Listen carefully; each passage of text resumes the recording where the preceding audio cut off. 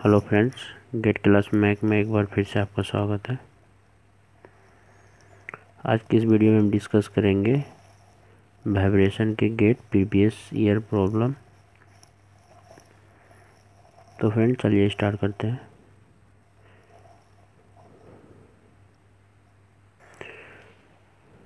ये problem gate 2014 में to marks का आया हुआ है। बहुत सिंपल प्रॉब्लम है, बस इसका सिर्फ़ कॉन्सेप्ट समझना और इजीली से इसको सॉल्व करना है। तो चलिए स्टार्ट करते हैं। What is the natural frequency of the spring mass system in the below the contact between the block and the inclined planes is frictionless. The mass of the block is denoted by m and the spring constants are denoted by k1 and k2 shown in the figure. इसमें क्या ये diagram दिया हुआ है? उसमें आपका मास है M का, और दो स्प्रिंग उसमें अटैच्ड है, उसका स्प्रिंग कांस्टेंट के वन और के टू दिया हुआ है। उसमें अपने को नेचुरल फ्रीक्वेंसी फाइंड करना है।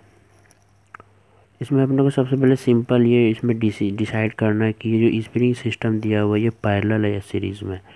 ये आप डिसाइड कर लिए मतलब ये प्रॉब्लम ईजी से सॉल्व कर दिए। तो ये देखो, अगर ये मास है, ये इधर दिया हुआ है तो ये यहाँ से दिख रहा है कि ये पैरल में है। तो पैरल के लिए पैरल के लिए स्प्रिंग कांस्टेंट निकाल लेंगे क्योंकि देखो, अपना फॉर्मूला क्या होता है?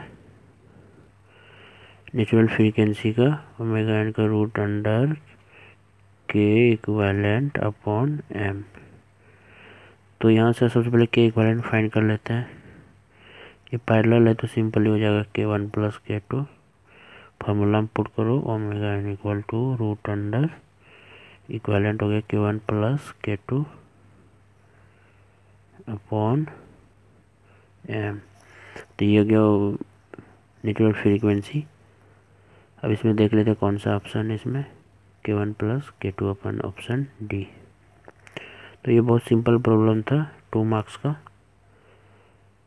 कोई कॉन्सेप्ट का भी यूज़ नहीं था, बस फ्रीक्वेंसी ये प्रॉब्लम में थोड़ा सा लैंग्वेज डिफ़िकल्ट था, इसका बस लैंग्वेज समझ ली तो ये प्रॉब्लम इजी से सॉल्व कर सकते फ्रेंड्स ये वीडियो आपको कैसा लगा प्लीज़ लाइक और कमेंट करके हमें बताएँ।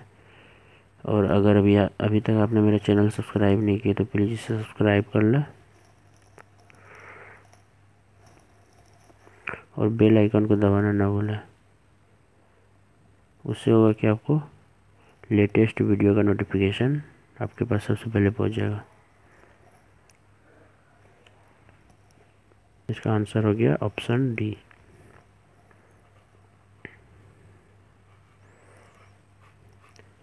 Thank you friends watching for this video